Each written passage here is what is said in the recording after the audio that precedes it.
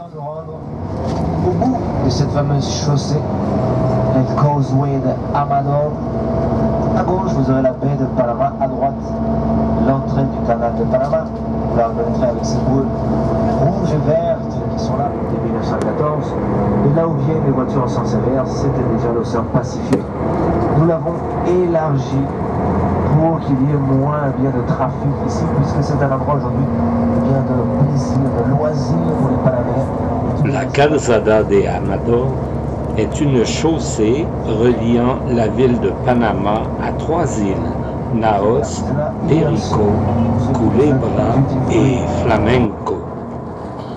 La chaussée fut originellement construite par les Américains comme un enrochement servant à prévenir l'ensablement de l'entrée du canal du côté pacifique. Ils prennent, souvenez-vous, le bateau en main. Dès qu'ils rentrent dans la route du canal, autrement dit déjà au large, que ce soit du côté Pacifique ou Atlantique, la même, et bien on commence le chenal du canal. Qu'est-ce que vous voulez dire par là, Gilles?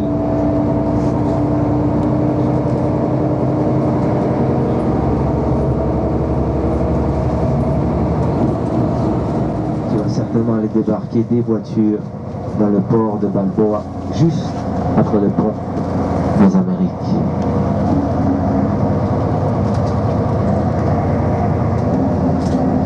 Alors à droite là, vous voyez un tout petit bateau avec le toit orange là, euh, la ligne de flottaison bleue, canal de Panama.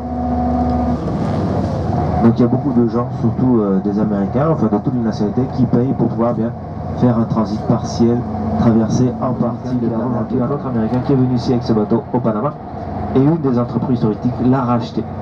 Et maintenant vous pouvez bien traverser une partie du canal à bord d'un bateau qui appartient à Al Capone. Nous sommes maintenant arrivés à la dernière île rejointe par cette fameuse qui va certainement aller débarquer des voitures dans le port de Balboa, juste entre le pont des Amériques.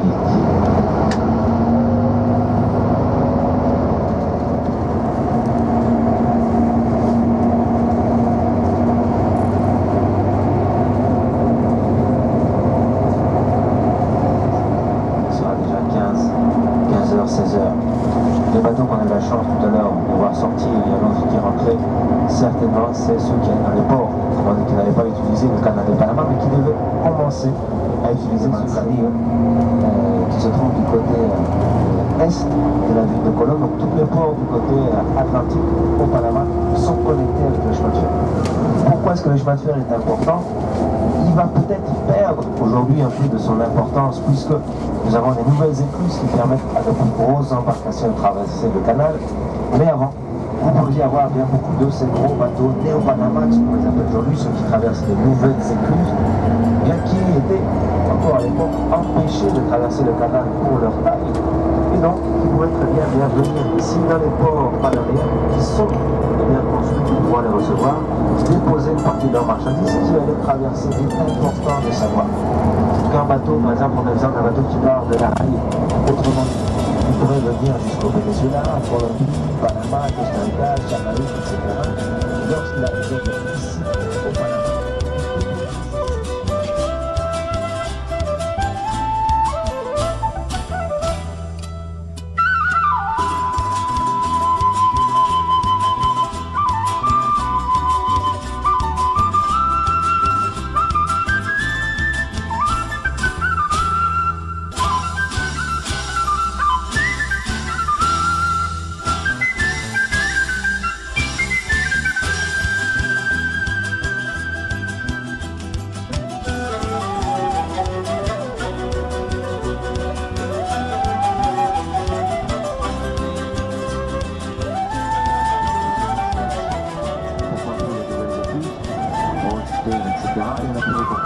350 mètres de terrain.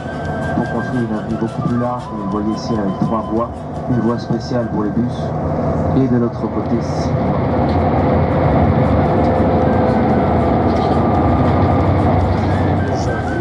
Il aurait bien...